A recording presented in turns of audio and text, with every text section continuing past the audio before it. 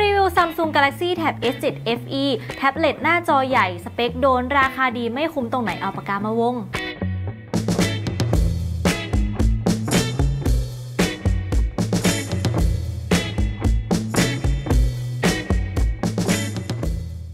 สวัสดีค่ะ View MX Phone ค่ะ จะมองหาแท็บเล็ตดีๆ สักเครื่องใช่ไหมคะ ก็ต้องทั้งทำงานได้ แล้วก็ใช้เรียนออนไลน์ได้เผลอๆนะคะ ยังต้องแบ่งให้เด็กๆที่บ้านใช้อีกด้วย ซึ่งวันนี้นะคะเราจะมาพูดถึง Samsung Galaxy Tab S7 FE กันค่ะ ซึ่งในช่วงปีก่อนๆนะคะ ถ้าใครจำได้เนี่ยเขาจะมี Samsung Galaxy Tab S แล้วก็ Tab S7 Plus ใช่ไหมคะ ก็จะมีในเรื่องของสเปคที่ดี แต่ราคาอาจจะสูงบ้างนิดนึงนะคะ รอบนี้เนี่ยเขาก็เลยได้ปรับทุกอย่างเนี่ยสเปคยังคงจัดจ้านเหมือนเดิม และราคาก็ลดลงค่ะกับ Samsung Galaxy Tab S7 FE ตัวนี้ค่ะ และวันนี้นะคะจะมีอะไรบ้างเดี๋ยวเราจะไปรีวิวให้ดูกันค่ะ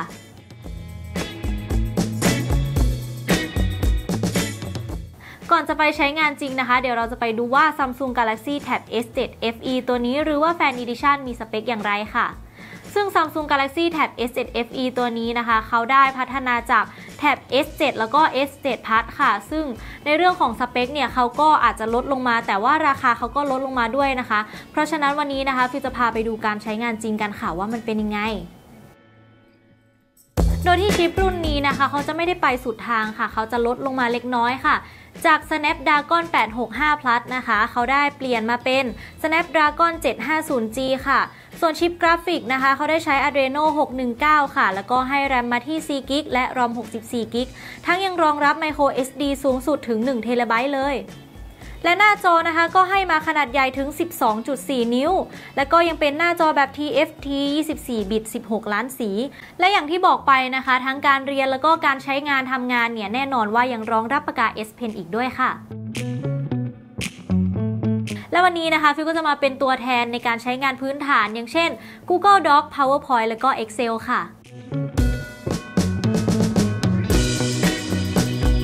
และนี่นะคะคือข้อได้เปรียบของการใช้งานแท็บเล็ต Android ค่ะ เพราะว่าเรามีบริการจาก Google นะคะ เพียงแค่เรามี Account Gmail นะคะ เราก็สามารถใช้งานแท็บเล็ตได้อย่างสะดวกเลยค่ะ ไม่ว่าจะเป็นการทำงานพื้นฐานหรือว่า การประชุมการเรียนออนไลน์นะคะ อย่างเช่น การจดโน้ตหรือว่าการแชร์เอกสารก็สามารถทำได้ง่าย ๆ ค่ะ และหากใครต้องการใช้งานแบบครบจบที่เดียวนะคะ เราก็สามารถซื้อบริการจาก Office 365 ได้เลยค่ะ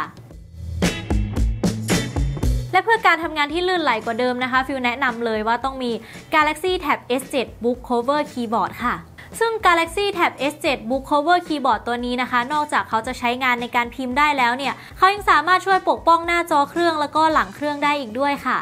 ซึ่งการใช้งานคีย์บอร์ดของเขานะคะฟิลก็รู้สึกว่า feel การพิมพ์เนี่ยเราสามารถพิมพ์ได้อย่างสะดวกเลยค่ะ ก็คือแป้นพิมพ์ของเขานะคะ มีระยะห่างที่พอสมควรค่ะ ไม่ว่าจะเป็นการเพิ่มปุ่มคีย์ลัด ซึ่งรุ่นก่อนๆนะคะ อาจจะมีระยะห่างของตัวแป้นพิมพ์ค่ะ แต่ว่ารุ่นนี้เนี่ยเขาได้ปรับให้คล้ายกับคอมพิวเตอร์มากยิ่งขึ้น ซึ่งฟิลรู้สึกว่าการใช้งานคีย์บอร์ดของเขาเนี่ยให้ความรู้สึกแบบว่าเหมือนเราใช้งานบนคอมพิวเตอร์จริง ๆ เลยค่ะ ไม่ว่าจะเป็นเรื่องของปุ่มลัด หรือว่าจะเป็น layer การวางระยะห่างของแป้นพิมพ์นะคะ ซึ่งรอบนี้เนี่ยเขาได้ปรับมาให้เหมือนกับคอมพิวเตอร์ยิ่งกว่าเดิมค่ะ ระยะห่างเนี่ยลดลงทำให้เราเนี่ยรู้สึกคุ้นเคยกับการพิมพ์มากยิ่งขึ้นค่ะ ไม่ต้องไปทำความคุ้นเคยใหม่ๆ ในเรื่องของการใช้งานคีย์บอร์ดค่ะ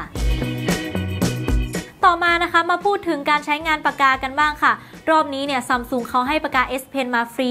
ย้ำนะคะว่ารอบนี้เขาให้มาฟรีค่ะ เชื่อว่าประเด็นนี้นะคะเหมาะกับทั้งสายโจทย์หรือว่าสายออกแบบค่ะ ซึ่งรอบนี้เนี่ยทางซัมซุงเขาก็ได้ให้แอปหลักมา นั่นก็คือ Samsung Note ค่ะเขามีให้กับตัวเครื่องมาเลย ซึ่งการใช้งานแอปนี้นะคะ ก็สามารถใช้ง่าย ๆเลยค่ะ เดี๋ยวฟิวจะไปทดสอบปากกา S Pen กับแอปนี้กันให้ดูว่า สามารถใช้งานได้อย่างไรบ้าง อันดับแรกเลยนะคะฟิลรู้สึกว่าการใช้งานปากการอบนี้เนี่ยสามารถใช้งานได้ถนัดมือมากยิ่งขึ้นค่ะ ซึ่งมันคล้ายๆกับปากกาที่เราใช้ในชีวิตประจำวันเลย ก็คือจับถนัดมือแล้วก็มีขนาดเล็กค่ะ แล้วก็ฟิลการใช้งานนะคะ ก็ใช้งานได้ลื่นไหลดีค่ะ ไม่หน่วงเลย และรอบนี้นะคะเขายังสามารถใช้งานได้ทั้งการแปลลายมือของเราเนี่ยไปเป็นตัวหนังสือได้อีกด้วย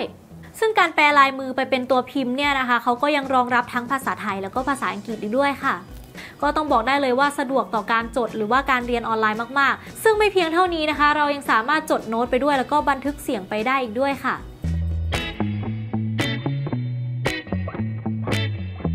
และสำหรับสายวาดนะคะ ปากกาตัวนี้เนี่ยยังรองรับทั้งการลงสีแล้วก็การแรเงา และสิทธิพิเศษที่เขาให้มาตอนนี้นะคะ ยังสามารถใช้ Clip Studio Paint ได้ฟรีถึง 6 เดือนเลยค่ะ มาถึงอีกหนึ่งไฮไลท์การใช้งานนะคะ นั่นก็คือ DeX Mode นั่นเอง ถ้าใครนึกไม่ออกว่าหน้าตามันเป็นยังไงนะคะ หน้าตาของมันเนี่ยก็เปลี่ยนจากหน้าตาการใช้งานบนแท็บเล็ตเนี่ยมาเป็นหน้าตาการใช้งานบนคอมพิวเตอร์นั่นเองค่ะ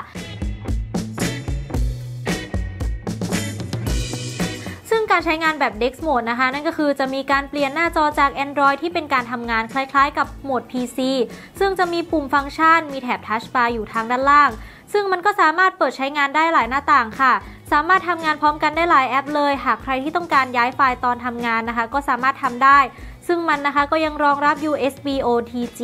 ถ้าเกิดว่าต้องการใช้งานอุปกรณ์เสริมเพิ่มเติมนะคะ อย่างเช่นเมาส์เนี่ย เราก็สามารถทำได้เพราะว่าเขามี USB Type C ที่สามารถเชื่อมต่อผ่านทางหับได้นั่นเองค่ะ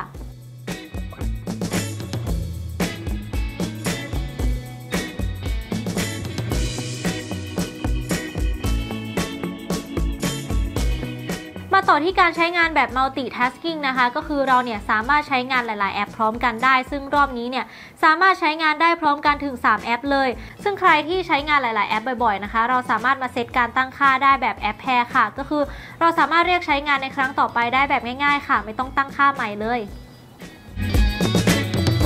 และมาถึงประสิทธิภาพในเรื่องของกล้องนะคะ เขาก็ได้ลดลงจาก S7 แล้วก็ S7 Plus ค่ะ เขาได้ลดกล้องหลักมาเหลือ 1 ตัวค่ะ ซึ่งกล้องหลักของเขานะคะ ก็มีความชัดถึง 8 ล้านพิกเซลค่ะ ซึ่งเรื่องของกล้องเนี่ยนะคะ การใช้งานกับแท็บเล็ตเนี่ยก็อาจจะไม่ได้หยิบจับมาใช้งานกล้องบ่อยมากนักนะคะ แต่สำหรับสายออกแบบนะคะ ก็อาจจะมีการถ่ายงานไว้บ้าง แล้วก็ใช้ร่วมกับปากกา S Pen ได้นั่นก็คือ สามารถขีดเขียนหรือว่ามาร์กจุดงานที่เราถ่ายไว้ได้ค่ะ และนอกจากนี้นะคะเขายังสามารถสแกนเอกสารได้ค่ะพูดถึงตรงนี้นะคะ เดี๋ยวฟิวจะลองนำไปสแกนเอกสารกันให้ดูค่ะ ว่าความคมชัดของมันเนี่ยมากน้อยแค่ไหน แล้วก็สามารถทำได้ดีมากเท่าไหร่ค่ะ ส่วนในเรื่องของการสแกนเอกสารนะคะ ก็ถือว่าทำออกมาได้ดีค่ะ หลังจากที่เราสแกนเอกสารไปแล้วใช่ไหมคะ เราสามารถนำไฟล์ตรงนั้นเนี่ยมาเขียนร่วมกับปากกา S Pen ได้อีกด้วยค่ะ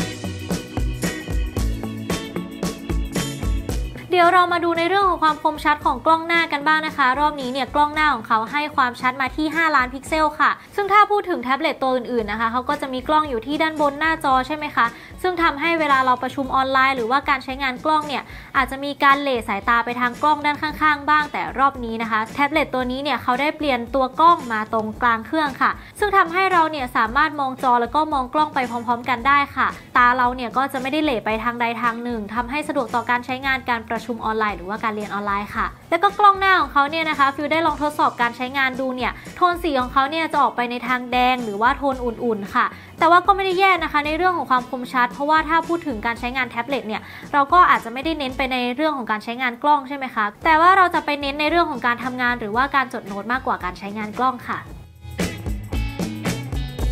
มาถึงในเรื่องของการรับชมความบันเทิงนะคะ รอบนี้เนี่ยหน้าจอเขาให้มาที่ 12.4 นิ้วค่ะทำให้การดูหนังหรือว่ารับชมความบันเทิงต่างๆ ของเรานะคะ ไม่มีการตัดขอบบนขอบล่างให้กวนใจค่ะ เนื่องจากหน้าจอของเขาเนี่ยมีขนาด 16 ต่อ 9ทำให้การรับชมความบันเทิงของเรานะคะ เหมือนกับเราเนี่ยรับชมอยู่บนจอคอมพิวเตอร์เลยด้วยความที่สัดส่วนเนี่ยมันคล้ายกันค่ะ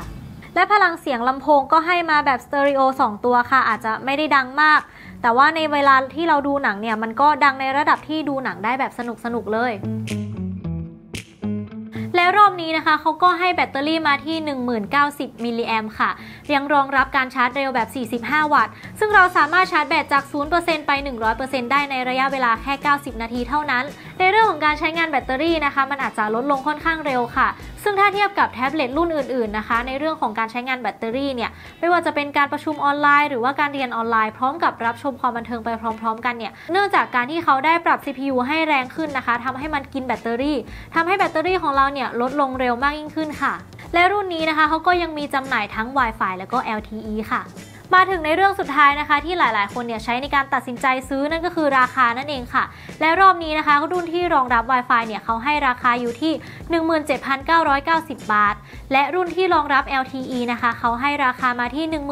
19,990 บาท และถ้าซื้อตอนนี้นะคะเขายังมีสิทธิพิเศษให้ค่ะ นั่นคือเราสามารถใช้ YouTube Premium ได้ฟรีถึง 4 เดือน สามารถใช้งาน Galaxy Butler Silver ได้ รวมไปถึงสามารถใช้งาน Canva Pro ได้ฟรีถึง 1 เดือนเลยค่ะ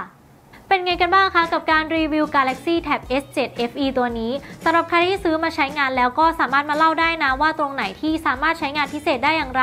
หรือว่าใครที่ยังไม่ได้ซื้อกำลังตัดสินใจซื้อเนี่ยก็สามารถมาพูดคุยกันได้ที่ใต้คลิปนี้ค่ะ และสำหรับคลิปนี้นะคะฟิวก็ขอฝากกดไลค์กดแชร์แล้วก็กดติดตามเพจ MM Phone ทุกช่องทาง ไม่ว่าจะเป็น Facebook YouTube หรือว่า Twitter ค่ะ และสำหรับคลิปนี้นะคะ ก็ลากันไปก่อนบ๊ายบายค่ะ